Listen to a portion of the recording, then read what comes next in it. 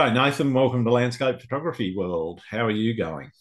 Doing really good. Thanks, Grant. How are you going today? Yeah, pretty good, pretty good. It's been a fairly chill day today. Uh, dog sitting for my daughter. Yeah. That does sound like a pretty chill day. I, I Yeah, wouldn't mind doing that you myself. you give him a feed and run him around a little bit, and he sleeps for the rest of the day, which is pretty good. Which means I can get on with things. Yeah, yeah, sounds like a good deal. Enough about me and the dog sitting. How did you get started in photography, and in particular, why landscape photography? My story is a little bit different in the sense that it didn't actually start with landscape photography. So everyone asks me how long it's been that I've been shooting, and I never know the exact answer. But I think it's been about probably 12 or 13 years since I got my first camera. Sure. And I was actually drawn to macro photography. Wow. and photos of jumping spiders particularly so there's a photographer in america called thomas shahan who takes Yep. like absolutely incredible macro photos and i think on facebook one day i was just like scrolling through facebook and i saw this photo and i was like wow this this is incredible i was like what, what on earth is this and i started like scrolling through stuff and i was like this is amazing and then i like followed him on instagram and i was like wow Mhm. this is just I want to do this. I was like, this is so intriguing that the detail that he captured for these little like spot spiders and dragon bit uh, dragonflies and all different sorts of little arthropods. And I was like, Yeah. I've got to do this. So probably about a week after I first saw that, I went out and bought my first camera, bought a macro lens for it, and then the journey started. Probably weeks of just taking really average macro photos. And as time got on, started trialing different things and then just fell in love with landscape photography. Like just switched. I still do a little bit of macro photography at the moment, but predominantly I just love getting out, watching a sunset or a sunrise, or just capturing the night sky and just soaking up that moment in time that for me, I feel a lot of people probably don't pay attention to. hmm And so then I Well, there's not a lot of people out no, hour. I know when I go to the beach, I might see, or if I'm lucky, half a dozen swimmers in a rock pool here in Sydney, yeah. and that's And that's in a metropolis, what five and a bit million people. exactly. And Adelaide's obviously a lot smaller, but it's for me, I, I find it really intriguing because I'll go out and I'll see this amazing sunset and these all these colors, and I, I'll look around. And the few people that are out, like sure, a few of them are pulling out their phones and taking photos, but a lot of them just keep walking. Yeah, People like just driving, and then I think to myself, like people are at home watching TV when you could be out hmm enjoying this weather or enjoying the light. And so for me, landscape photography is all about capturing that beauty and then sharing it with the people that don't stop to appreciate it in the hopes that then they'll go out and appreciate it, yeah, which is really, really difficult at times because I think some of the tools that we have or some of the, the ways of sharing images people don't really see or appreciate at times. yeah, yeah, definitely.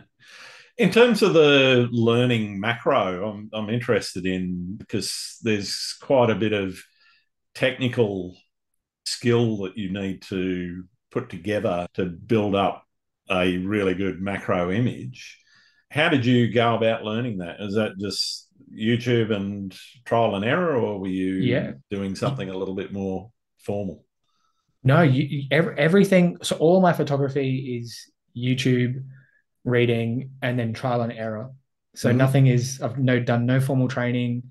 I've just spent countless hours just out and about taking photos. Predom- that's I learn best by doing.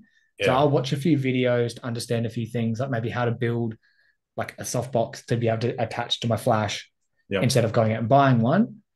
But the majority of it is literally just, all right, let's go out, let's take a photo, let's see what it looks like. All right, how can I perfect that? And then I'll Right. come back and I'll, I'll go out again. And then building like a macro rig is also part of the fun because you can get a macro lens, which is one to one. Yep. I've played around with reversing lenses to get different magnification and then also like extension tubes as well Yeah, to then yeah. get greater magnification to be able to play around and then just literally just trial and error and crawling around on the ground looking for little spiders and, and bugs and stuff and then them scurrying away and just being frustrated that I found one and then it's, it's disappeared. Your subject wouldn't stand still. no, luck, luckily, like jumping spiders are actually really curious creatures. Yeah. And a lot of people are scared of spiders, but they're actually, when they see some, not all, but they'll be more curious about, okay, what are you doing And mm. why are you interested in me? And so they will pose for photos. Yeah. And they just I don't know, they just got these really unique personalities and like quirks and facial expressions. And I probably sound like crazy to be talking No, about no, spiders no, like this. I'm like. I'm, I'm smiling thinking about them because of I, think back to photos that I've taken, and I'm like, I just remember that spider just being like, I see you taking photos of me. I'm, I'm putting on a little bit of a show for you. They might be Um, looking at themselves uh, as a reflection in the lens, maybe. Pro- probably that too. And like the beauty about jumping spiders, and, and predominantly the ones that I love are the peacock jumping spiders, Yeah. and which are the ones that are known for putting up their backs and then dancing side to side for the female mate. Yeah. and they're, they're, they're probably the spider that I, I, have searched for the longest. And it took me three and a half years to finally find one in Adelaide. Wow. They're just, there's a lot of, there's spiders everywhere. There's spiders in the house now, they're, they're like they're everywhere. But these peacock jumping spiders in Adelaide are super rare Mm. and they're only in small little pockets of the state. And I remember the, the first day I saw, I finally found one. I was like shaking. I was like, literally, my friend's like, what's, what's going on? You don't understand what this is. And he was like, it's just a spider, man. He's just let it go. I'm like, no, I'm, I want to take photos of this thing. Yeah. So, I, I, yeah, a bit of a, a spider geek. Before, before I came on, I was actually wearing one of my pajama tops, which is, it's actually got a jumping spider on the front of it. And it's a shirt that Thomas Shahan had actually designed Nice. and so I've got it, but it's falling apart slowly because I've had it for yeah, probably 10 or 12 years now. Wow. Um, but I was like, oh, I can't wear that on this. it's fair enough. I don't really use the video very much. Uh, Oh, I'm thinking about whether or not I start releasing some of these as videos on uh, on YouTube or not. At the moment, Yeah. I just do the audio on YouTube, but you never know. We, we might we might see you. maybe. So I, I guess taking those lessons from macro, how did you translate some of that learning into what you're doing with your landscape work? Probably just the trial and error. Mm, because you, you go out and, and, and macro is probably, it, it- it's really complex in terms of the lighting, the angles, the lenses, even the, the focusing is, is super like because you're working with such shallow depths of fields and these spiders can be a few millimeters. So taking probably some of those those learning skills from the macro of just the struggles with you know i guess it's different in the sense that the environment you're dealing with a much larger field. But mm, mm. just the trial and error of okay well, where do i focus? Where do i want my my my subject to be in, in the image or the focal point of the image to be? And just playing around so moving around trying different compositions and then just real i think just trial and error like really is just shooting seeing if it looked good if it, if it felt right as well is a big thing for me Cool. So, what is it that you think you're chasing most in your photography? What is it that you, you're thirsty for? That's an interesting question. For me, I, I always like to think that I'm chasing the light. Mm, The, the light is what I love the most. So when you're watching a sunset and the light is continuously changing as the sun's setting or the sun's rising, and you see just different parts of a scene, whether it's like the jetty as, as the sun is setting, and you see the light just changing across and, and lighting up the textures of the wood. yeah. That, that's what I'm always chasing. Just those intricate little moments where the light is just perfect Yeah. and everything just flows together. And if it's a sunset that's got no clouds, there's, there's going to be a bit of a glow. And so then that glow will transfer onto, again, if it's a jetty, you're going to see that along the side of the jetty, or if depending on where it is, it's just going to light up certain parts of the scene. And I'd say that's what I'm chasing is that light and those fleeting because it's it's only momentarily, like momentarily there, and then it, it stops and it's gone until the next day potentially. And some of my favorite images, if I think back to, th- they are literally very brief moments where the light, if it peeked through a cloud, and it was just perfect for a second, and I was there just to be able to take a picture. Uh, would probably be what I'm chasing the most. Yeah. Fantastic. Do you have goals in your photography? And if so, what are they? I, in, in terms of goals, I have a few, and, and they're predominantly just mainly about just capturing certain locations. Mm-hmm. So I have a, a, a I have different areas like New Zealand is is top of my list, and I'm heading there in just over a month's time. And so my goal my goals are basically just to capture images and places that I've seen online mm-hmm. and capture my own like my own images that have a feeling of me in them. Yep. So that that would probably be one of my main goals is getting out and traveling more. I'm also very driven by the the by personal growth and, and just improving in what I'm doing. So I, I've for years have always looked at my images and been like, this is a good image, but what could be done better? And so I'm continuously working on how do I take the image better in the first place? How do I post process the image better sure. to just give more emotion in it? Mm-hmm. Um, and then if I think about like probably a bit more of maybe a, a, a big, massive dream or goal of mine, I would love to see my images one day potentially in the National Geographic magazine. Sure. Which is which is a pretty out there goal because I think with the with National Geographic and the type of photos that they do share, they're probably not in line with what I currently capture and share. Yeah. But that would be like that's just I remember as a kid growing up and mum every month buying the National Geographic magazine and just being fascinated by the images that are in there, whether it's the wildlife or the landscapes, and just being like, this is amazing. This, this is mm. incredible. And so now that I've got the tools to be able to capture images, I'm like, that would be an amazing goal to have for me. Yeah, cool. In terms of setting some of those goals, do you establish projects to achieve them, or are you more spontaneous about, okay, this will help me, and I'll just add that to the show, the shopping cart, I guess, along the way? Yeah. So I think in terms of setting things in motion to try and reach those goals, I'm probably very spontaneous in the sense that I would just go and do. I don't necessarily always plan my shoots, whereas mm. I know some photographers will actually go, okay, I'm going to be at this at this time to, to get a certain photo. If, if yeah. I think about trying to get photos in National Geographic and stuff like that, mm-hmm. in terms of like the traveling and the capturing images of the places that I want to go to, I have like soft plans in place to travel to, to different places. Obviously, New Zealand, that's booked and that's ready to go. And then in terms of the growth, in terms of the images that I want to capture, it's very spontaneous. It's just, it's, it, it was actually something that I just do constantly. Like I'm always thinking about. Yeah, right. In that sense, but it's spontaneous in terms of like when I do actually go and do something. I'm shooting most nights, and I'm I'm doing something photography related nearly every day. Mm, mm. But I don't have set like 30 day, 60 day, 90 day goals. Yeah, right. Or like small things to try and hit those markers. Yep.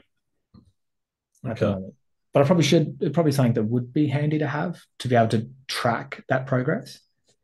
Yeah, so I, I guess some people get into the planning side of it a lot more, and that becomes integral to not necessarily building their career, but building the elements in their portfolio or building out skill sets that they might want to move into, or even trying different genres. They say, all right, how do I apply this to what I've learned here to another genre of photography? Yeah, which is like something that if I think for myself, I realize this, you'll chop this out potentially anyway, but I've realized I just keep saying I think. No, I just got myself like tossed. Anyway, back on track. The skills that I've learned from landscape I find that I push myself by trying different genres as well. Mm-hmm. So I've recently shot some maternity photos, which are completely different. Yeah. But it's giving me those extra skills to learn like different styles of shooting mm. To build on that skill set, which as I get better with different things, I can start incorporating maybe if it's models or people into my landscape photos to give them that extra layer. Yeah. And I think there's compositional lessons. I don't want to call them rules because, yeah, you know, yeah, okay, you got rule of thirds and various other rules in inverted yeah. commas. But I, I think of them more as lessons because you learn as you as, as you form up your compositions. You learn what to include, what to exclude, whether or not a tighter crop or a wider shot is going to be right for that particular scene. And I guess applying that into portrait photography, you've got a, or you've already got that sense of what the landscape or what a, a scene might look as a backdrop. And then applying that into portrait photography helps you place your people in the scene in a in an attractive way or in a, in a way that's actually going to make people want to look at it. Yeah, I really like what you said there about it being a lesson and not necessarily a rule because I find that a lot of people that are that are coming up in the photography scene, whether they've just picked up a camera or they've been around for a few months, they get really fixated on that a rule. Mm. I've got to do this. This is what it's got, got to be do. rule of thirds, or it's got to be yeah whatever. And and it, and it doesn't need to be. Yeah. It, it, can be whatever it is that you want it to be. They're there to help guide you, and the the, the basics will assist. But you can create whatever it is that you want. Mm that aligns with what you want to capture and not necessarily following these set rules in terms of rule of thirds is probably the biggest one that a lot of people do focus on a lot. Yeah, I, th- I, think it's about making that creative choice around what's right for the scene. And yeah. to be honest, one of my favourite shots that I've taken personally is one where the, just throw the rule of thirds completely out. That said, there are some elements of using thirds in there. But if it's not traditional, the horizon is really up near the top of the frame and the rest of the scene sort of fills out. But if you look at how things are positioned left and so forth, the negative space versus the bits that's filled with subject matter. And yes, I've kind of used rule of thirds, but not maybe not in, in, in a non traditional way. Yeah, uh, and but it's because it's, of it's learning that skill to be able to say, okay, I don't have to put the horizon on the the upper yeah. or the lower third line. It it could be right up near the top or right near the bottom of the frame, depending on what it is that I'm shooting and how I'm actually bringing the whole thing together. Exactly, and and somebody that might be fixated on the rule would be like, no, it's got to be like this. It's got to be like this, and they they'll come away with a completely different image.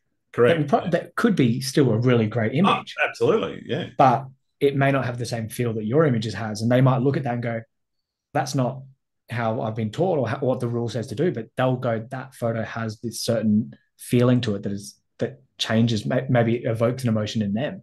Mm. And they'll be like, oh, I should have tried that. Yeah, yeah. And it's that's where it's a lesson. You learn as you go. Definitely, definitely. See, because I know for me, probably the rule that I follow, not follow, lesson, the lesson I follow the most is like leading lines. Mm. So whether it's the jetty, if it's a path, I hate to say it, but a set of stairs. Yeah. Those leading lines for me are something that I'm all I think I'm subconsciously drawn to. Yeah. Because I when I look back, even just thinking about some of my images now, my, my, my predominantly landscape-based images, there is some form of leading line through an image, whether it's the curve of the beach or it's the stairs or it's a jetty. There's always that probably focus where I'm probably less focused on like the like rule of thirds, for instance. Yeah. I think what you're saying about the leading lines, it, it's something which is very common in, in landscape photography. Some might call it cliched, but uh, I don't think cliche, cliched images are necessarily bad either. Yeah. because again, as you said, it's really about the emotion that is, is expressed in it and how you react to that. And it might be, oh, I don't want to see any more of those stairs, or I don't want to see any more of that jetty, or whatever it is, because I've seen it so many times. There's that that bridge in Sweden between Sweden and Denmark there that I, I can't imagine, uh, or the Opera House, or the Sydney yeah. Harbour Bridge that's just been shot to death. Yeah. But there's still certain images that you look at and you go, yeah, that's a really good one, and I it, it really anchors a, an emotion to it, and you look at it and go, even though compositionally it's probably not very much different to a lot of others, but there's elements in it that make it slightly different enough that you stop, look at it, and go, "Oh, I'm really hooked to that image or to yeah. that composition." Yeah, and you're right. There's I, I, saw an image recently of the Sydney Opera House, and you see so many of them, especially with like when Vivid's on mm-hmm. you know, after the Queen's passing. There was like there was Opera House. I was just scrolling through Facebook and Instagram, and I was just like Opera House, Opera House, Opera House. But then there was one the other day that just like literally stopped me dead. I was just like, wow. And it was not like it was compositionally, it was not unique in any way, but there was just something about the image. I was just like, this is just incredible. Right. And for South Australian based photographers, Port Willunga, the Port Noarlunga South Stairs are probably two of those images. Like they're probably South Australia's version of those yeah. those places in the sense that they're always seen. And people always say to me, they're like, why do you keep going back to the stairs? Why do you keep going back to Port Willunga? And I'm like, even though compositionally the photos are, are, are relatively similar at times, there's a different feeling and emotion. And yeah, the conditions are different, and various yeah. other things that you may do to the image. You might it might even just be a change in white balance or the temperature. The that that white balance you might just adjust up or down slightly, and it changes the feel entirely. 100%. And one of my images that went viral years and years ago that I absolutely, I absolutely hate it. I could just hate it. And I've edited that photo since, and it, it it has this totally different feel to it. And it's I think that's also the other thing that's beautiful about digital photography is that we can go back. yeah, you're not restricted to what you got in the negative, then delivering pretty much the same result. Though that said, even in in film in darkroom, if you've got a negative, you can still adjust again, depending on if it's color or black and white, even there, you can adjust the white balance, you can adjust tone, you can adjust contrast, you can actually make that negative into something completely different to a, a, another processing technique that you put to it. And yeah. Yeah, but as you say, it's far easier in in digital to uh, to get that how you want it. Oh, 100%. Which, yeah, like, obviously, it's just it's so simple because we can just literally just sit there and go, yep, this photo could be processed hundreds and hundreds of different times and add different elements into it. And, and as you said, just tweak the tiniest of little things and it will change the whole feeling of the image. Yeah. yeah. I guess that leads us on to your approach to photography as it relates to experience versus art. You've obviously attached that emotional response and you're very aware of that does that mean that what you're trying to do is artistic with the image or are you still trying to remain true to what you've seen in the and make it more of a, a I don't want to say documentary per se because it's not just here's the shot here's exactly what it looked like but the feeling that was there when you were standing maybe at the top of the stairs or the, the bottom of the stairs or where, yeah. wherever you were. Yeah. For me, I've found over the years that's changed.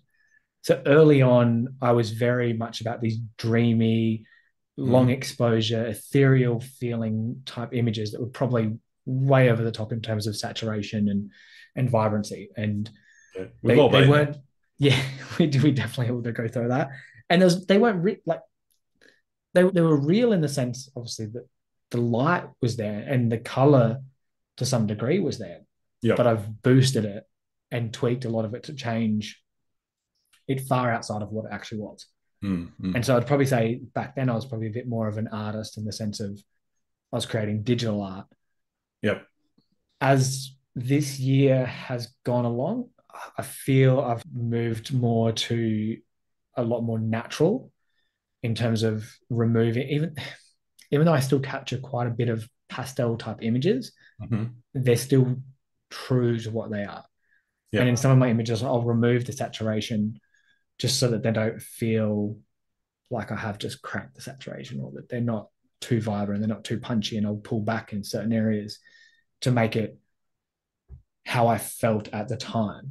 Mm-hmm. Whereas two, three years ago, it was the complete opposite. It was like, let's try and make this image just look like out of this world in, in a sense that it was just, it's not real. But people, and people would comment and be like, oh, wow, that, that's amazing. I wish I was there. And I, I, look back now and I go, well, it wasn't actually like that. Yeah, it wasn't, wasn't quite the same. Yeah. no. And there's certain elements to my images now where probably I'm borderline between pushing it back to how I used to be.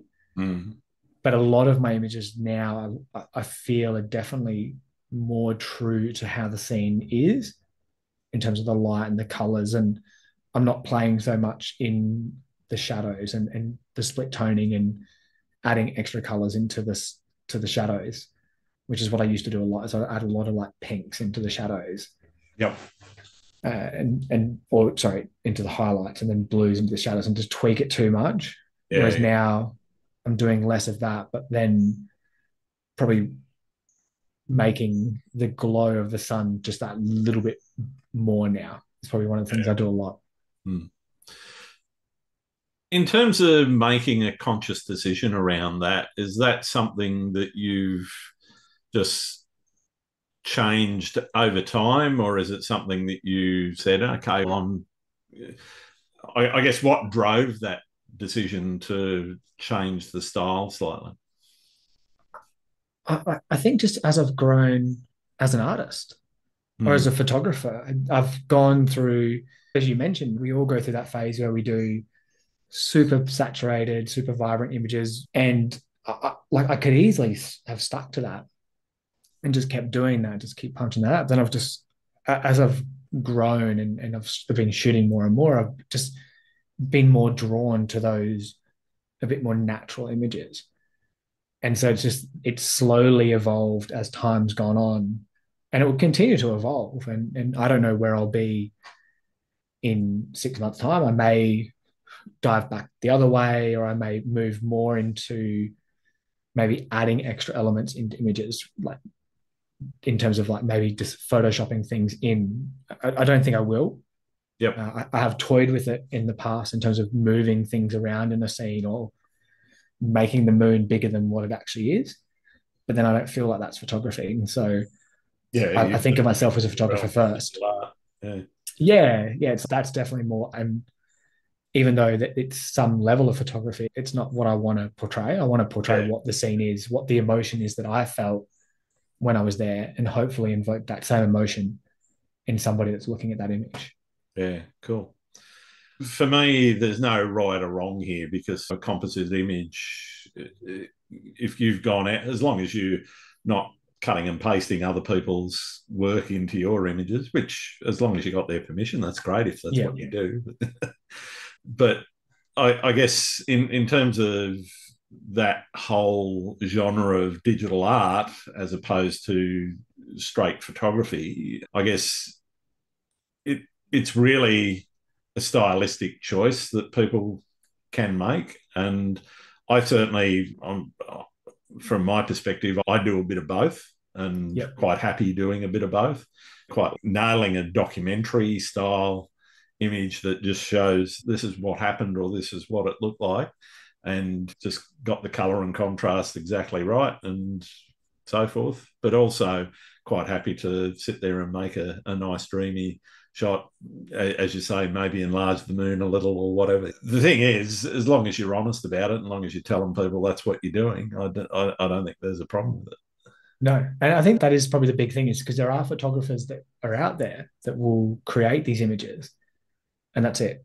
Yeah, And so people go, oh, wow, that's amazing. I wish I could have gotten that. But really, there is that composite. And uh, you're right. I think you do need to tell people that, hey, this is actually a composite. Like, I've done this. You don't have to say necessarily, like, this is exactly what I've done and how I've done it, but just be like, this is a composite. This, I didn't add this element or, I'm, and, and I think that's a very important thing because then it's just setting the right expect, not expectation, but just showing people that like it's okay to do that as, as well. Because I, I feel Yeah. at times some people are like, no, you can't do this composite stuff. You've got to, Well, it's, it's like the compositional rules. There, there, yeah, there, there are none really. You can pretty much do what you like. that's Yeah. the nice thing about it. exactly. I was talking to someone before this, and they're where they are. It's a bit cloudy for the moon tonight, and so they're hoping to still get a shot, and then they'll just composite it into another photo. But they've, they've said this is my plan, and then I'll share it and explain this is what it is because of the conditions. Went right, and I think that's definitely the right way about going about it. And and there's no, I, I don't feel it's wrong to do composites. I, No. I think similar to yourself, I'm probably the same. Whereas sometimes I'll do it if I think back to an image.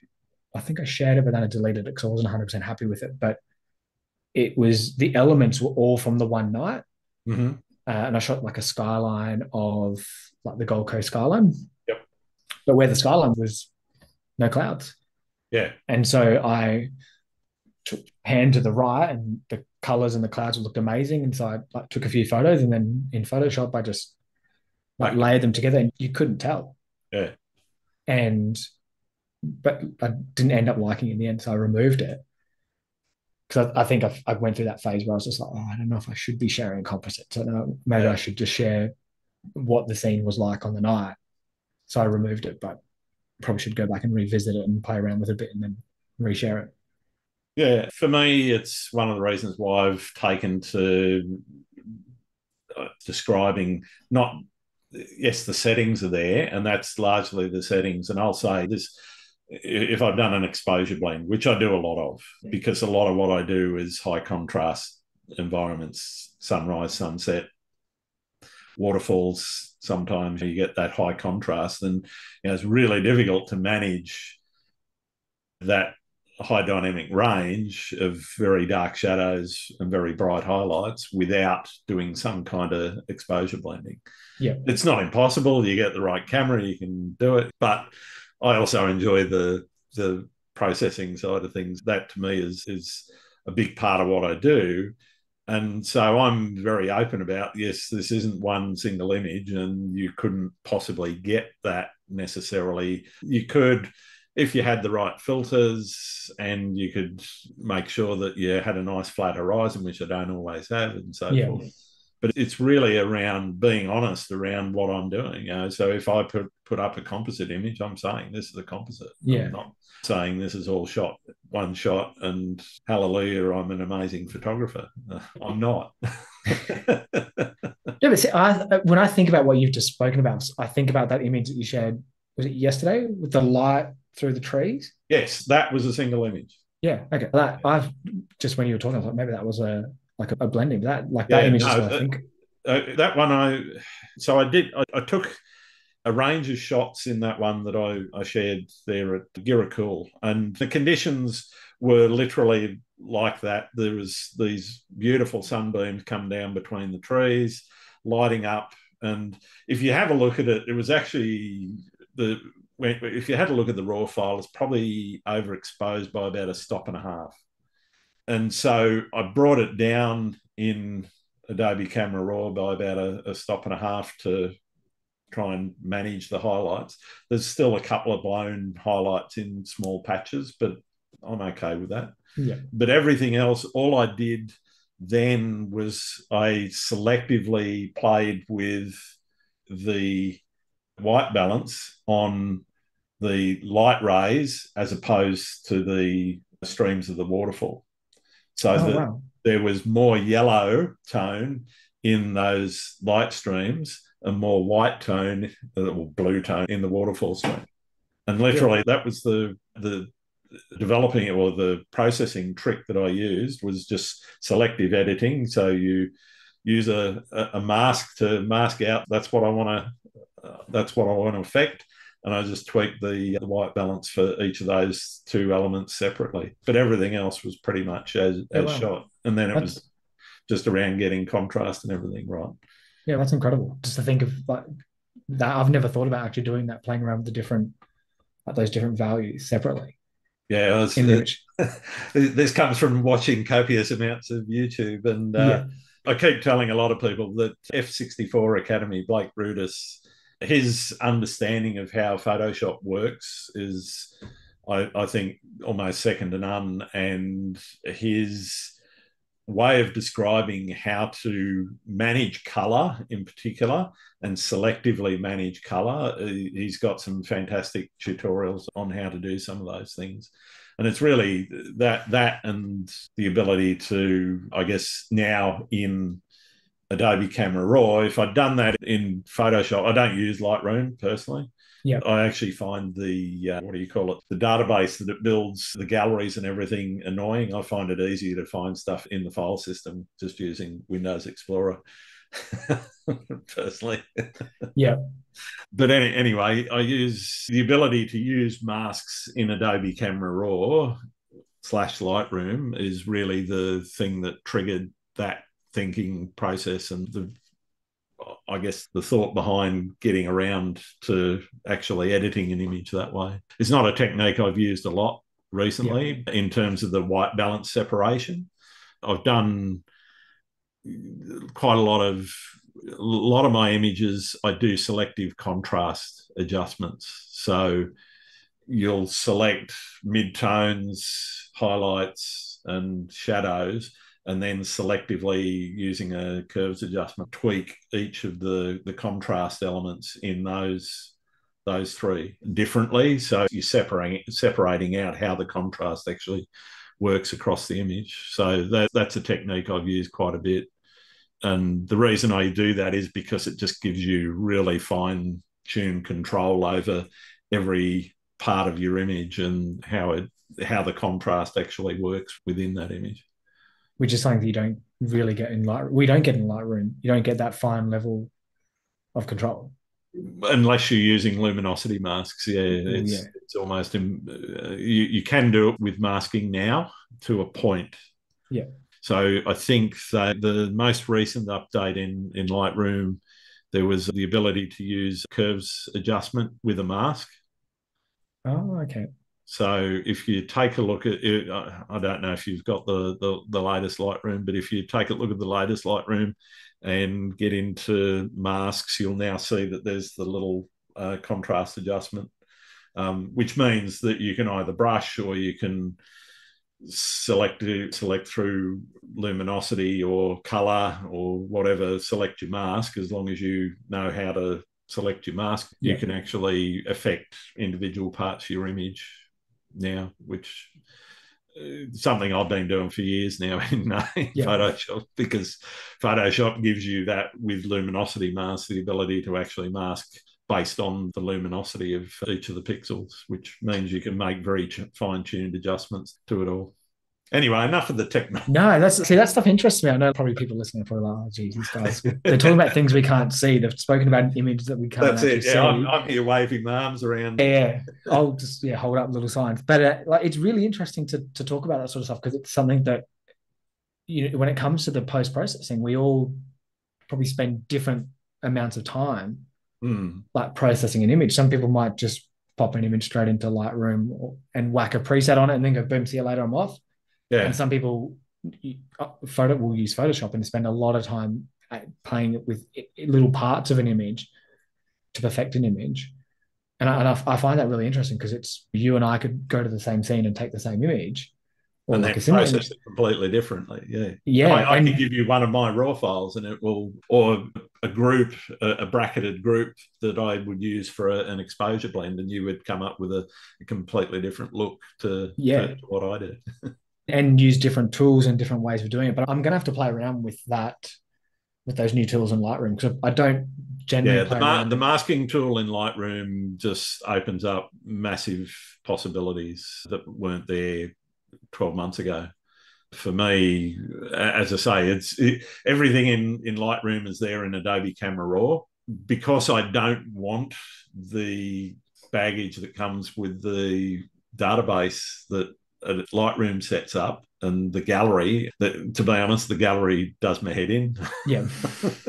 For two reasons. One it's actually creating a database which takes up disk space and yeah. when you load it into memory as well yeah you can play around with caching and everything and you can optimize it but it's still taking up system processing resources that I prefer to use because I use Photoshop, and Photoshop's a hungry beast as, as it oh, is. And yeah. I know Lightroom can be a hungry beast as it is. But I, have just found working my process, uh, doing away with the database, doing away with therefore with Lightroom, working within Adobe Camera Raw, which basically has almost all of the developing that that developer tab or the develop tab in Lightroom is exactly what Adobe Camera Raw provides. And so as long as you've got the raw image, you can pretty much do whatever you like to it. And to a, to a point, you can do a bit with the JPEG image. Yeah. Because uh, when I first started with photography, it was Photoshop that I used. And so I, I was really probably same sort of thing like the Adobe Camera Raw and then like take it into Photoshop and play around with different layers and mask to some degree. I'm still doing that. Yeah. yeah. and then I, I, think maybe I don't want to say laziness, but out of I found Lightroom then easy. I played around with Lightroom. I was like, oh, this is a lot easier, like little sliders. But for me, it just like I I personally like the file structure yeah, of Lightroom. I'm not saying it's it's yeah. just a, a, personal thing. I, I don't like what it does to the computer in terms of yeah. slowing it down and taking up this space. And so I, I, ditched it a few years ago. It's probably improved out of sight from where it was, but yeah, it's just uh, something that I, I don't like and don't want. The the last week I've had continuous issues with my catalogs being corrupted.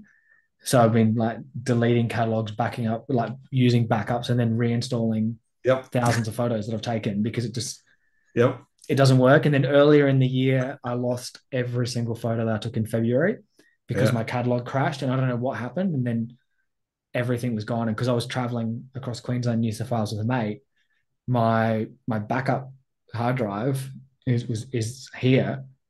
And I was like, I've literally just lost everything I took in February. So the one thing I do miss out on, which I would like, but I've got because I work non destructively in Photoshop anyway. So I create quite a few layers. But the one thing that I would like is all of the stuff that you do in Lightroom. You can, and again, this is another thing that adds weight to the database and everything because it stores this with your image file. Is all of the edits that you've made, all of the changes that you've made. So all of the snapshots that you've held on to and selected, but every edit you've made is actually reversible in Lightroom. And that's great. I, I, love that fact. But you can actually do the same sort of thing in Photoshop. It just takes a little bit more faffing about. And, uh, but anyway, I guess talking less about the technology, actually, why, why don't we talk a little bit about that because you raised something that I ask quite a bit on the show is the relationship between where you shoot, what you shoot, how you shoot, and how you process. And which one is the biggest driver for you? Is it do you shoot a certain way and do you shoot certain subjects because they're close, handy, and you process a certain way? Or do you shoot certain subjects because you love them and then that drives how you process and how you shoot them? Yeah. So I'm driven by location. Mm. 100% it's everything is the location and it's not because they're close. So for me, I shoot a lot south of Adelaide CBD. Yep. And it's actually, depending on traffic, an hour to an hour and a half drive every time for me, depending on the area. Yep. And but it's just the areas that I go to, or, the areas that are south are just so photogenic, and that's what drives me to shoot those locations. And then in terms of the the post processing side, that's changed again. So for me, I used to shoot a lot of like long exposures. Everything was let's chuck a 10 stop ND filter in front of it mm-hmm. and smooth out the motion. Let's capture some the clouds dragging through an image. Yep. And I was driven by that because it created this real ethereal feel with the, mm. the cloudy milkiness of the water. Because that's like I found that people that I worked with or people that were commenting on my stuff were like, wow, this is amazing. It looks like it's a cloud scene, like with the water, like it's this misty fog. Like, well, that's just amazing because I've never seen that.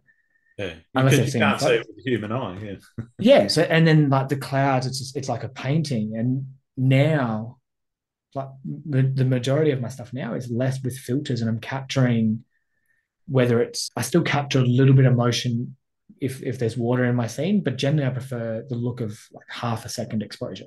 Yeah. Just that little bit of a drag of, of a wave or the yeah. or the flow of the water as it goes out. So everything for me is driven by the locations. And then I shoot depending on the conditions that are there. Yeah. Right. So if it's a bit more of an overcast day and then sunset's going to be a bit more miserable, then I'll generally aim for those longer exposures because I feel that you capture a bit of the mood mm-hmm. of the scene. If it's a bit darker, if there's a lot of bright light and the sun's like blaring, then I'll generally aim for like shorter exposures and try and Yeah, right. frame my scene in a way that the sun is just out of the frame, and then so that glow comes into the scene. hmm And then I'll make that pop a little bit more when it comes to the post processing, whether it's being using like a radial filter with a really soft like edge to it and just really blow it out and just tweak the exposure just this like just the tiniest little bit Sure, sure. and add a bit of more orange to it. And I just find that for me, I just love that kind of feeling of an image. Yeah, nice. How about yourself? I'm, I'm curious to know, is it similar for yourself in terms of Yes, I, I shoot, as I said, as I described before, I shoot the way that I do largely because I'm well aware of the limitations that I have on the gear. It's got reasonable dynamic range in camera, but it's still not as good as a human eye. And therefore, to get something that looks a bit like what you can see with the human eye. That's it. And, and I'm excluding the very long exposure stuff that I might do at half an hour before or an hour sometimes before sunrise, that nautical twilight, where you've literally got to have the, the shutter open for seven minutes, excluding those because they're out there shots. A, not many people do them, and B, they have their own look and feel, and they're a bit of a lottery when you make them as well because you're not guaranteed to get quite the effect that you expected. But in terms of if I was going to the beach and doing a, a sunrise shoot, that kind of dictates to me that I've got to do some kind of bracketing and therefore some kind of exposure blending. Because if I don't, to me, yes, I could buy filters, and this is one of the other things. Part of it's an economic reason. I don't see personally a lot of value in buying grad filters, whether they're hard or soft grad, and I don't own any, and I probably don't ever see myself buying any simply because I can do what I want to do without those filters. And I can get a scene that looks because I'm taking an exposure that's exposed for the brightest highlights and exposures that are for the darkest shadows and a few in between depending on how how many stops that looks like whether it's a four or a five stop change i'll do somewhere between three and five exposures in some cases I'll find okay because I haven't quite calculated it right. I only need to use two. Yeah. That that sort of high dynamic range shot dictates because I don't own any grad filters and probably never will. It, it dictates that I've got a bracket and therefore that dictates how I shoot. If I go waterfall hunting, that's slightly different. But again, you can still get some with with the caves that get in behind the, the waterfall and the bright white of the water falling itself, you, you again can get into some high dynamic range situations. But when it's a dull day and you've got even light and everything, then I don't shoot So again, as you said, it depends on the conditions. It depends on what it is that you're taking a shot of, and sometimes how I feel at the time. Could I be bothered messing around with it? That said, that I fully I go into it fully understanding if I'm going to do a five shot bracket and the attendant processing that comes behind that, the post processing takes a bit of time, and but it's something that I enjoy doing equally as much as I enjoy shooting. Yeah, I know a lot of people they're loath to spend ten minutes on their processing, but I look at that a bit like the time that you spend in the dark room back in the day when you were doing film is the time where you're actually bringing the image into the world and into a form of finishing that that image so that it's ready for public consumption or personal consumption if you don't show your images to anyone. So for me it, it's really about that they're, they're two sides of the same coin, and the shooting and the processing go hand in hand. Sometimes, as I say, though, I'll surprise myself and I'll find something and I'll take another look at it, like I did with the one that I, I posted the other day with the waterfalls that we were talking about just before. and be able to go, okay, well, when I first looked at that image, I thought, yeah, it's overexposed. I won't bother too much with it, and I moved on to other frames in the in in the shoot because I thought they gave me better value for time at the time. But when I've got the time, I'll go back into the archive and I'll take a look, take a second look, and go, okay, let's reconsider this one. Let's see what I can do with it. Chuck it in, play with it. Can I get something that actually looks any good? And sometimes you get one that does. yeah, I think there's coming back with fresh eyes.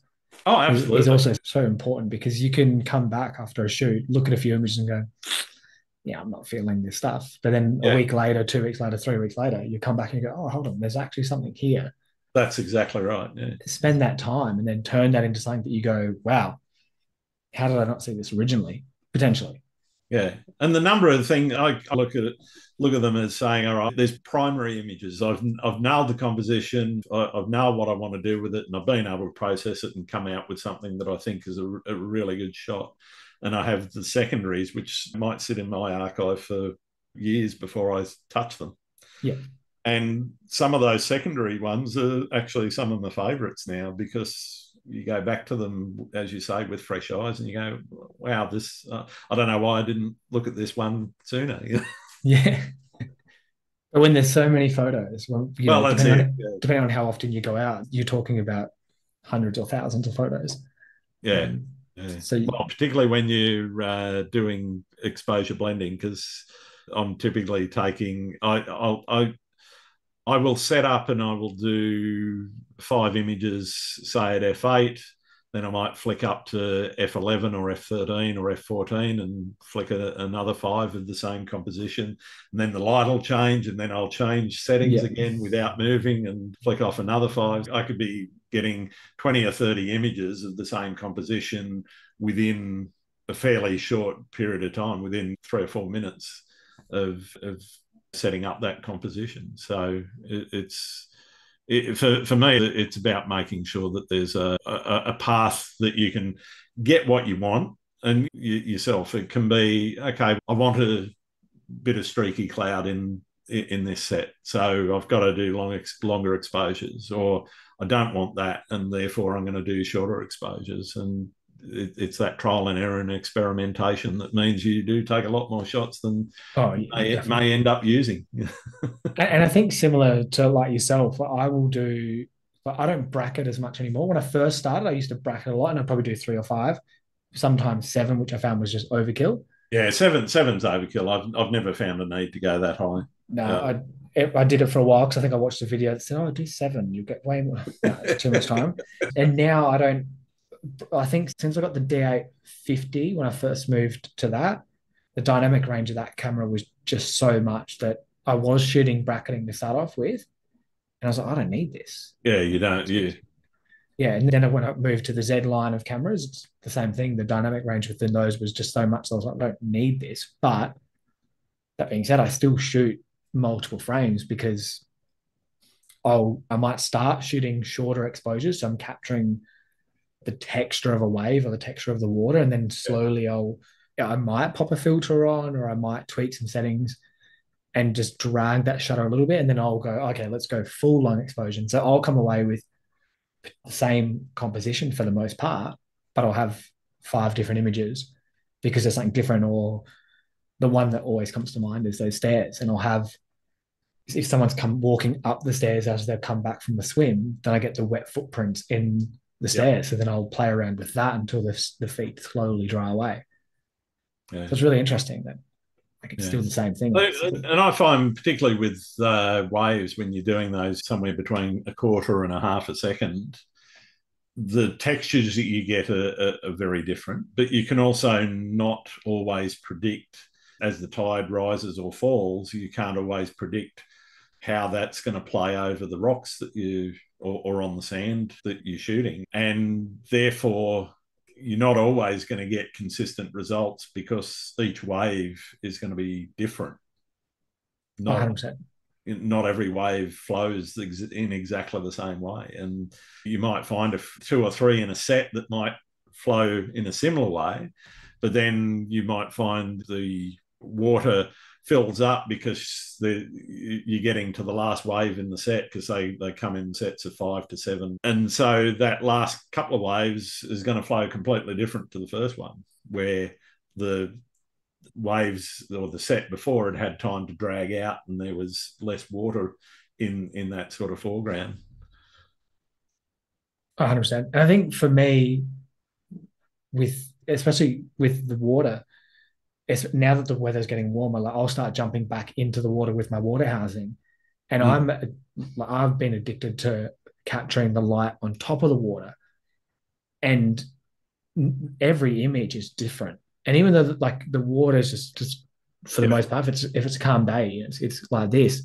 But the way that the light dances across the water as you're taking images, I'll come away with, if I'm trigger happy, I'll come away with a couple of hundred hundred images mm. and I'll be skimming through them in Lightroom, and I'll just be like, wow, look at the way the light bounced off the water there, and then it's like this, or then there might be a bit, little bit of water drops on the water housing, and so then it's you get a bit of it's incredible. It's just so different, even though it's the same. And then I'll play around with even dragging the shutter a bit, so I'm a bit slower, and then it's different again in terms of the texture of the water. Yeah, yeah, yeah. What's the most memorable experience you've had out shooting? Uh, I have to go for the first thing that came to my mind, and that would be, and it's not it's not a landscape photo, mm. but mm-hmm. it's diving with turtles earlier oh, this year.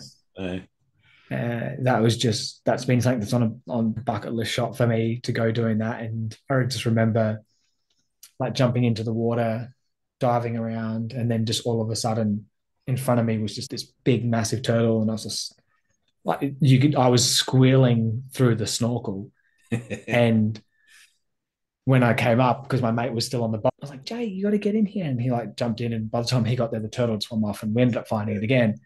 But afterwards, he's like, they were worried you were drowning. what do you mean?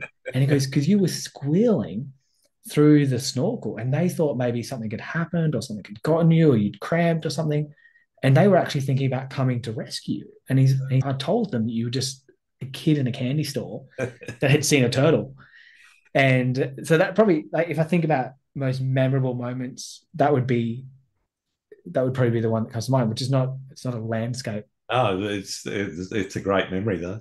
Yeah, it's and like one of my favorite photos I've taken is uh, it's one of those photos from that series with the turtle and just the blue of the water. And yeah, yeah. I'm, I'm hoping to get back to Julian Rocks next next year and dive. Hopefully, hopefully there's no floods or anything like that. Because when we went, the it was probably about a week or two after some of the floods. Yeah. And so the water was quite murky. So mm. the images probably weren't as crystal clear as they could have been. So I'm really keen to to get back to there. And I think from a landscape perspective, there's probably too many to count.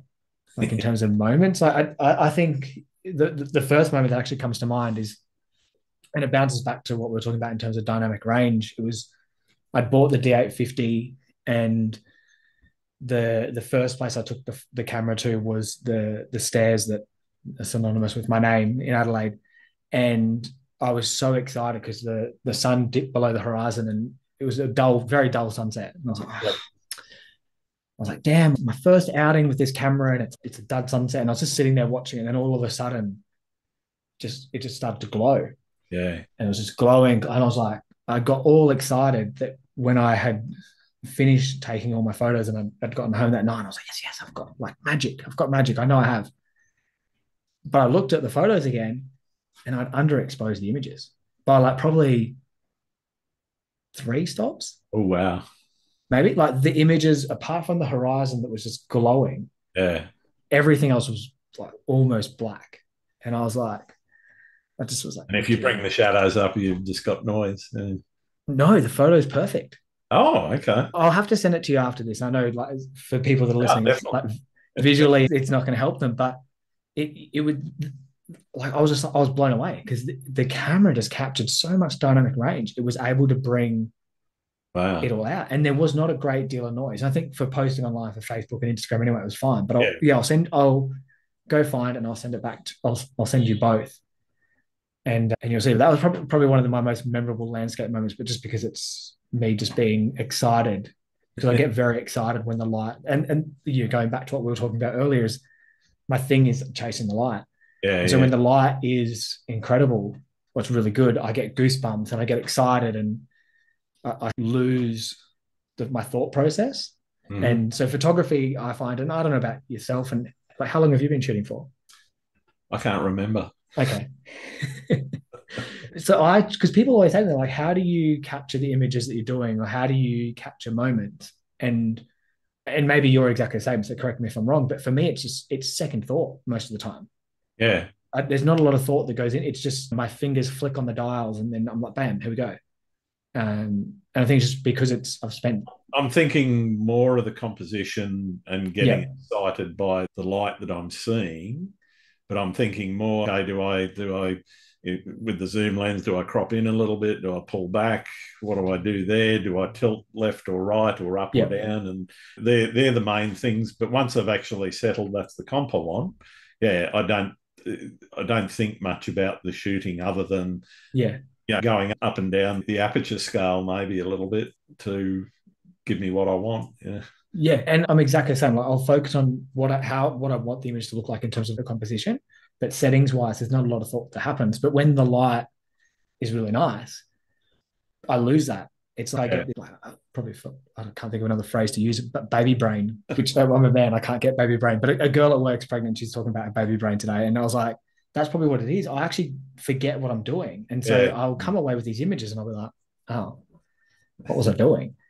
and or I'll see them on the back of the screen afterwards. I'm like, what was I doing? What was I thinking? And like, that's where luckily the D850 was was powerful enough in those few instances where because that wasn't the only time that I got excited and just underexposed images that I'd luckily be able to bring them back.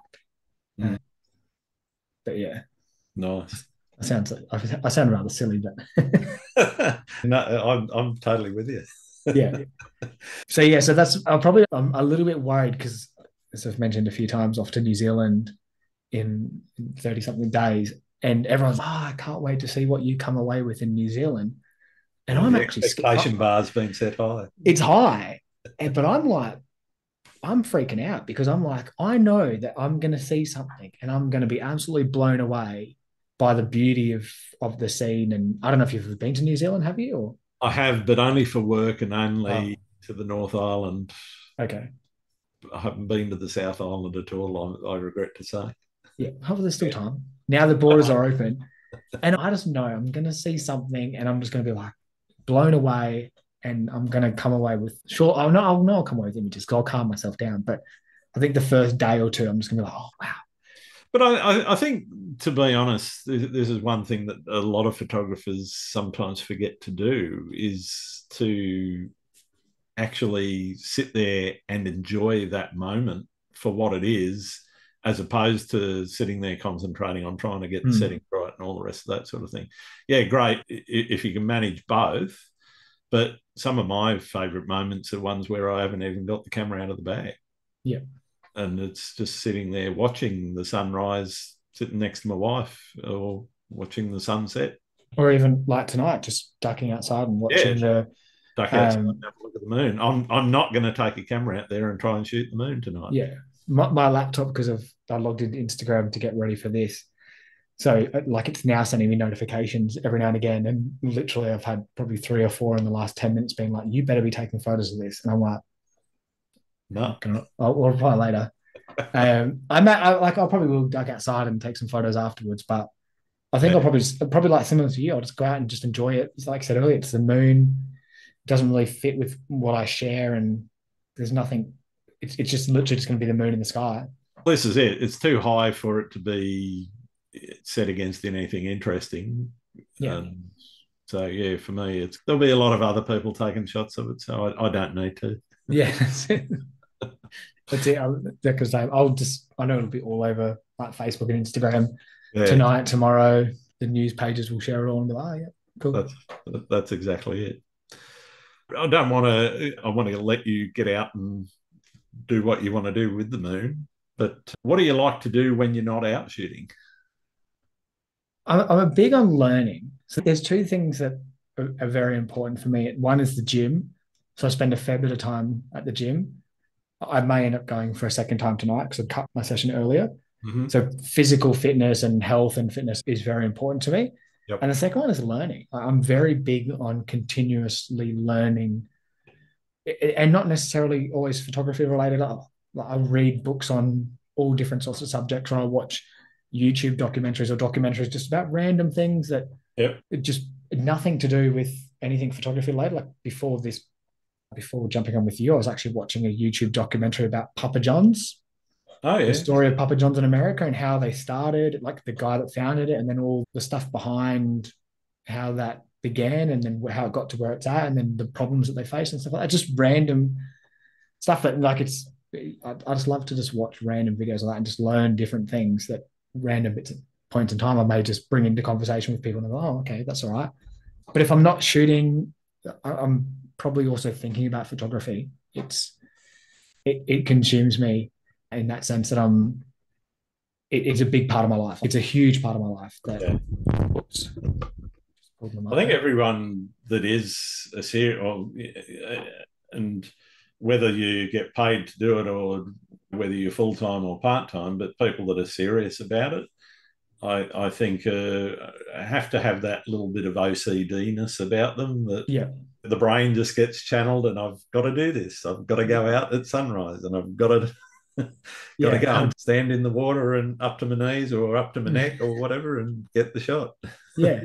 And it's it's you're right. OCD is probably a big thing. Like the, probably the right way of describing it because definitely that's probably Bullshit. yeah, Yeah. it is. It really is. And one of the things that I've been focusing on a lot over the last probably three months, trying to get myself better, is because this year I started teaching for Nikon. Mm-hmm. like teaching live classes and when I first started to where I'm at now, like trying to teach people that might have different learning styles to myself, whether they're audio or visual, and, and trying to make sure that these people that are paying to come to classes and learn how to capture images or improve or feel better with their camera. So I've been watching a lot of content on learning styles and how to teach people different things, Yeah. which has been a pretty big learning curve. I've still a lot to learn, Yeah. but I'm enjoying it. I, I, I really do enjoy getting out and just getting hands on with people. And No, that's fantastic. Have you ever hit a creative wall? And if so, how did you handle it? I've definitely had hit a lot of creative walls over the years. And for me, in terms of handling those uh, early on, I, I got really frustrated with myself and I'd beat myself up that I just didn't really have that desire to go out and create or capture images. And I would, you know, I'd go for these drives, long drives, whether it's down south or even just to some of the local beaches in Adelaide, or a few times I've driven to like the Yorke Peninsula, which is four hours away. And I'd take all the camera gear, but I just wouldn't shoot. And I'd beat myself up because I was like, what am I doing? Why am I doing this? Why am I still driving out? Why can't I take photos? Why I said no desire to do it. And as I've grown as a person, I've realized that during those periods of time where I've hit that creative wall, it's just to accept it Yeah. Yep. and and not beat myself up and, and then pivot into something else, find something else to do. Or like you mentioned before, still go out, but don't take the camera and Yeah. just go and appreciate the moments Yeah. that they are and just sit there, read, meditate, just not be too concerned. Whereas like probably four years ago, three years ago, I would really beat myself up. I'd feel down. So then I'd feel worse. Yep. And I'd fall deeper and deeper into that rut. And and getting out just took a, a long time. I'm curious to know about yourself though. Like how about what do you do or if you found yourself in them? Ah, oh, I started a podcast. Yeah. That's one way that I dealt with the creative wall. But that was more a, a wall that was imposed on me because that was middle of COVID lockdowns, 165 days where I wasn't allowed more than five Ks away from the front door. But other creative walls, yeah, I, I tend to do similar sorts of things in terms of just going out and enjoying an experience. But uh, I'll, I'll just go and do something else for a little while if I get feel that I'm in a bit of a rut or things aren't working the way that I I want them to. Um, and sometimes that may be completely and utterly divorced from anything to do with photography. Uh, sometimes I'll also, you know, do something different with photography. So just pick up the camera and do something in a different genre or play around with it in a different way and do something a bit more experimental that I may or may never share with anyone else other than people that I think might appreciate it. You know, it depends yeah. on how, how I feel about it at the end. You know? but yeah, it's not something that I, uh, I, I got to say, it hasn't happened a lot, but it, it's something that I'm very conscious of looking at strategies for avoiding it in the first place. And one of the things that I've done in terms of that for my own mental well-being is actually getting a lot more relaxed about what happens on social media and getting a lot more relaxed about whether or not there are or aren't likes or whatever. Those things can consume you a little bit and they can therefore impact what you're doing with your photography. And if i don't have a post every night i don't care. I, I will when i can and i won't when i don't. Yeah. And and that's really important. And yeah. especially because the the whole social media side of it is is great because you want to share these images that you you love mm. and then you so you go and you post them and then you're like yes it's really amazing and then you come back and it's like hold on two people like this or whatever it is and whether it's the algorithm or people just don't jive with what you've put up it shouldn't matter and people put too much stock in it I think, and it's really just about. I, if I think about it and think about the people that do comment and I see regularly, they're the ones that are obviously. I, I don't want to say fans because I don't think I've necessarily got fans. Maybe there might be some fans coming off the, the back of the podcast now, but you know, to be honest, it's not something that I, I think too much about, but I do appreciate those that are there. And yeah. if you do comment, I'll always comment back as much yeah. as I possibly can. And, and it's really important because a lot of people get so stuck in that whole like they'll get upset they'll I, i've known friends in adelaide that have almost deleted their accounts because yeah. they get depressed because they're not getting the engagement that they get and Instagram removing the likes for a period of time was really good because that kind of helped. They then obviously allowed it to come back, and, and so you can see some people's likes, and other times, or you can hide them if you want. But I think it's more about just sharing what you like. And one of the questions I get a lot when people reach out to me and stuff is, how do I get more likes? How do I get more followers? Yeah. And my response is always the same. It's don't worry about the number of likes don't worry about the followers. Like, why yeah, do you want what you enjoy sharing? Yeah. What like why do you want this? And they'll be like, because I want to work with brands or I want to be like famous. I want to be an influencer, yeah. Yeah, I want to be an influencer. Like, but it's not important. It doesn't no. matter. Like it doesn't matter in the grand scheme of things. Like That's exactly it. Yeah. I know people that have under a thousand followers, but they get offered to shoot like cars for Peugeot and Ford and all these brands. Yep. And I know people that have 10,000, 20,000, 50,000. They get nothing. Yeah. And it's because the brands, they see the content. Like they your content may not always reach the right person, but if it reaches the right person and they look at your style and they go, I wow, want to work with you. Yeah. Yeah. I'm going to work with you. They're going to go, oh, wow. They don't, they're not going to go, oh, you've only got 500 followers. Like you're not good enough because it's the content is what's important and sharing what you love, what you like. And then that will come across that people will feel that in your images. And then the rest might come. It may not come, but that shouldn't get you upset. Yeah. Or get you down. And, it shouldn't, it shouldn't dictate your life. And social media, if it's a big part of your life, I get it. If you were let, us say you were somebody with you know 40 50,000 followers and it was your business and you are an influencer for whatever brands or whatever then great. I can understand why you might be really looking hard at your engagement. But if you're just a hobby or amateur or even a professional photographer that is just enjoying sharing your work, just do it and don't worry too much about the rest of it. Oh, that's it. And I, am guilty of it myself. Like when probably before, probably mid last year, before that, my account was off the hook. I was getting thousands of likes on images. I was getting yep. hundreds of comments, and I was like, wow, like my account was growing massively. And the last year and a half, it's like just dropped off. Sometimes I might post and I might get 200 likes. Yep. I, I look at it because I'm just curious, but I don't get upset anymore. Yeah. Whereas a year ago, or two, like yeah, a year ago, or even before that, when it was good, but then I'd post something and it wouldn't go great, I would probably fall back into that rut a little bit. And I'm like, well, what's the point? Yeah. Whereas now I'm like, cool, whatever. Like it doesn't matter. It's I'm sharing content that I love, and, and sometimes people, I post.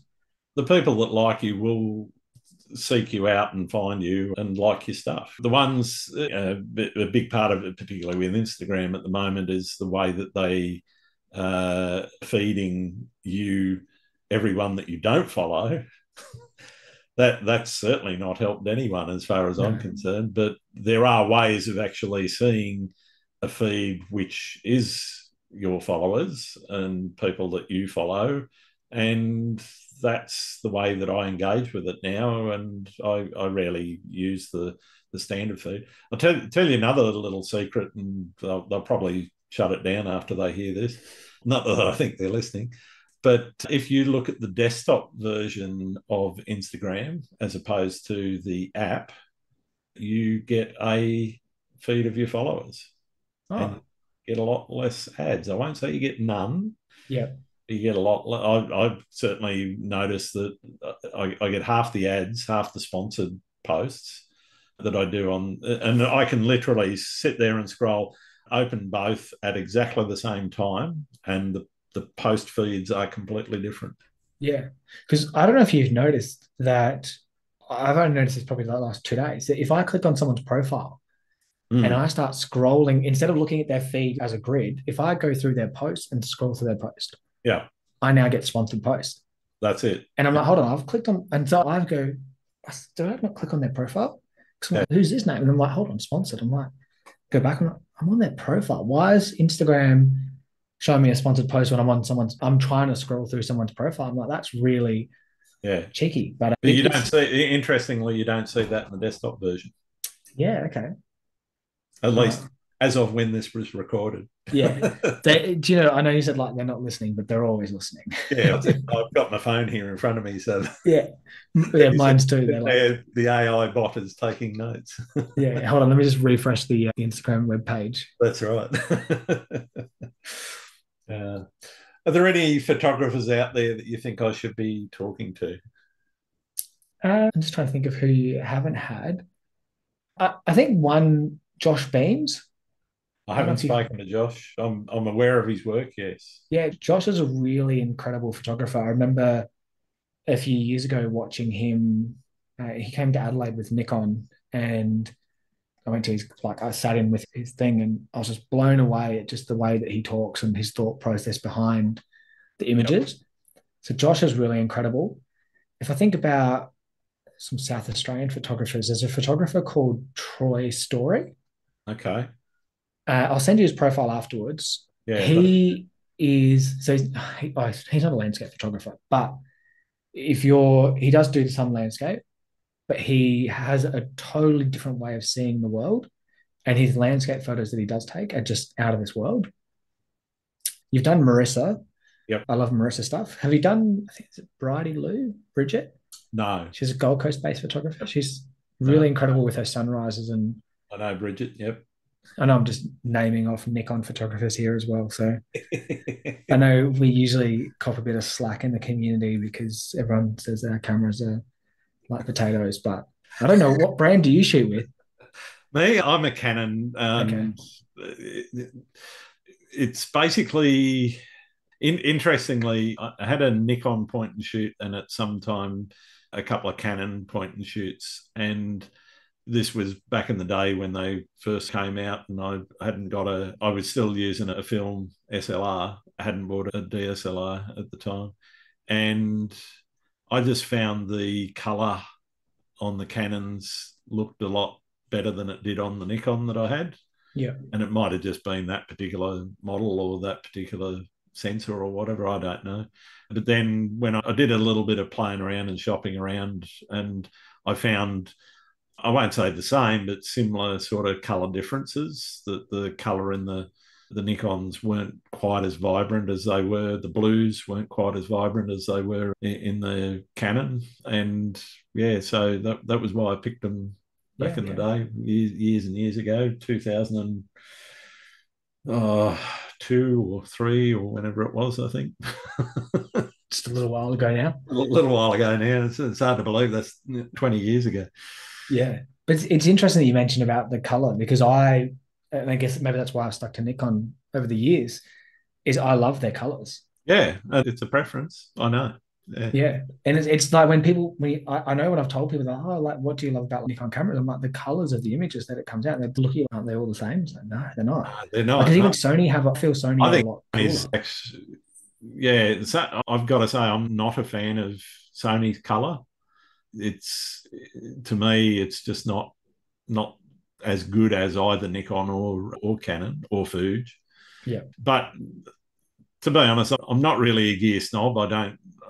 I, I would shoot anything if I had it, but yeah. now I've got a whole bunch of Canon glass. I can't see myself changing. I'm coming up for that choice around mirrorless and what I jump to there. Do I ditch all the glass? But then I also think economically, for 200 bucks, I can also attach all of the nice L glass that I've got from Canon to the mirrorless so I'll probably do that. yeah. And I, I, don't know enough about, I'm not, a, probably similar to I'm not a gear snob. I'll shoot with anything. I can't work a Canon camera at all. Like someone gives me a Canon, I'm like, what am I doing? I'm the same. Uh, I'm a bit the same with Nikon and Sony. Sony, I think, has got a much worse interface than either Nikon. Nikon's a little bit more intuitive. Yeah, See, I'm better with Sony, but that's only because my best mate has like a Sony. So yeah, when we right. go out and shoot, like I might shoot him with his camera. But the adapted lenses, I, I found when I've I've got one old Nikon lens now, or Sigma lens actually, and adapted it works perfectly. So I imagine Canon would be the same. That like yeah, a mate of mine, he's just shifted to. He does a lot of motorsport photography. He's just shifted to the R3 and I think he also has an R5, which are like your, your two top of the range. The R3 is really aimed at sport shoot. Yes, you could shoot anything you want with it, but when you're talking about the ability to do something like, what is it, 60 or 70 frames a second on electronic shutter, it's really all about being able to do sports photography more than anything. And the R5 is more more attuned to a a general workhorse across the board. It'll pretty much do anything, except it won't perform quite as well as the R3. But he's done the same in terms of the adapter. He's he bought the two hundred dollar adapter and his old glass works just as well as yeah. the new glass. Some of the new glass has a couple of extra features because you've got because you've got in body and in lens stabilization in the R series, they work together to give you a, a, much better image. So with the older lenses, even though they might have image stabilization on the on the camera, it's it just doesn't work quite as well. As, uh, this is his yeah yeah uh, sort of opinion to to as he's related it to me. But yeah. I've got one more question for you and you probably know what's coming. It's the most important question I can ask. Do you like pineapple on pizza? Love it. It definitely belongs on pizza. Very good. So you're one that'll order the Hawaiian, yeah? Yeah, I just offer a little bit of a tangent. Uh, one of my best mates owns a pizza shop. All right. And he doesn't think pineapple belongs on pizza. So I'll go in there and order. He might be Italian, so he's probably got good reason. No, he's, he's Lebanese. Oh, okay. Yeah. So he, but he hates pineapple on pizza. So sometimes I'll just walk in there. I'll be like, "Hey, can I grab this pizza?" And it doesn't have pineapple on. I'll be like, "But can I get pineapple?" Yeah. Or I'll be like, "Can I just get a cheese and pineapple pizza just to razz him up?" but I, yeah, I think it, it definitely belongs on even burgers. Burgers the other one. People, uh, it's got to be on a burger. Definitely. Yeah, it's got to be on a burger as well. I don't, I don't know. I don't know if people hate it. yeah, no, I'm, I'm all about it on a burger. I'm less fussy if it's not on a pizza. I'll, I'll eat it. If it's on a pizza and there's nothing else, I'll eat it. I probably wouldn't go and order it though. Yeah, like just cheese and pe- and pineapple pizza. yeah, no, that that I probably wouldn't go that far. Yeah, I've never done it, but I'd go in there to order it. Like he'll also, I'll do, I'll get kebabs from him and like different things. I'm like, oh, can you just chuck some pineapple on that for me? Actually, pineapple on a kebab would be great. I think. I didn't like it. No. So I, I yeah, I got one and I didn't like it, and so when I went back there, he was like, all right, how'd the how'd the pineapple on the kebab go? And I was like, no, yeah, Nathan's take it off your pizza next time. uh, I might have to give it a go.